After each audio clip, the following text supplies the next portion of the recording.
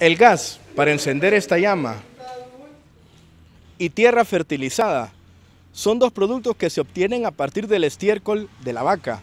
Sí, escuchó muy bien, estiércol de la vaca.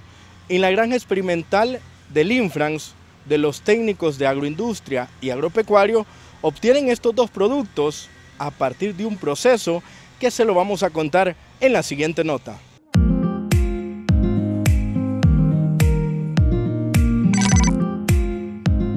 Definitivamente, en la granja del Instituto Nacional Dr. Francisco Martínez Suárez de Chalatenango, han encontrado la manera de utilizar todos los productos orgánicos con los que cuentan, pues la obtención del gas metano que utilizan en las cocinas de la planta de procesamiento agroindustrial y el fertilizante orgánico que utilizan para mejorar los cultivos son productos del estiércol de las vacas. Esto lo logran a partir de un biodigestor que no es más que un contenedor herméticamente cerrado donde se mezcla el estiércol con agua y por un proceso de fermentación anaeróbica se obtiene el biogás.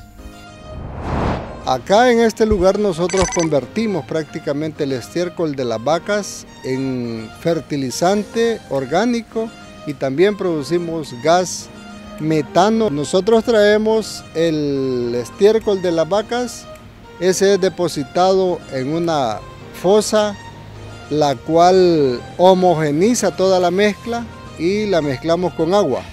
La descarga viene por esta tubería y ahí mismo entra a una fosa que está en el biodigestor.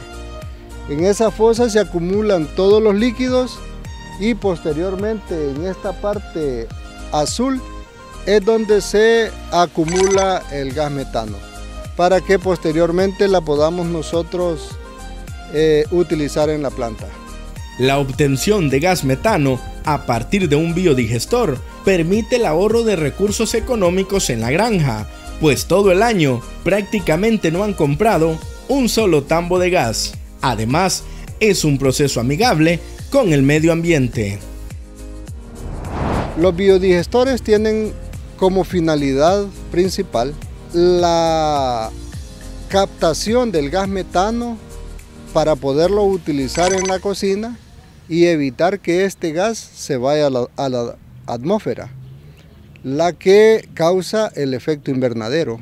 Entonces este proceso es totalmente amigable con el ambiente porque no hay contaminación ni del suelo ni de la atmósfera, ya que el material sólido que sale eh, nosotros lo utilizamos para la producción de hortalizas, que se convierte en un fertilizante completamente orgánico. La producción de gas es constante, lo suficiente para cubrir las necesidades de esta fuente energética en la planta de procesamiento agroindustrial. Estamos produciendo un tambo de gas por día. Un tambo de gas, un tambo de gas por día. Esa es la capacidad que tenemos para producir y por eso es que como todos los días hay producción en la planta, todos los días hay procesamientos, eh, todos los días se tiene que alimentar el biodigestor y todos los días se está eh, sacándole gas también. Llevamos todo el año lectivo, de enero a la fecha, agosto, que no compramos gas para la cocción. De esta manera, la granja experimental del Infrans continúa desarrollando proyectos encaminados a la autosostenibilidad. El siguiente paso es encontrar la manera de envasar este tipo de gas para que sea utilizado también en otros espacios de la institución, como por ejemplo el comedor institucional. Con imágenes de Manuel Rodríguez, informó para Telenoticias 29 Eudi Campos.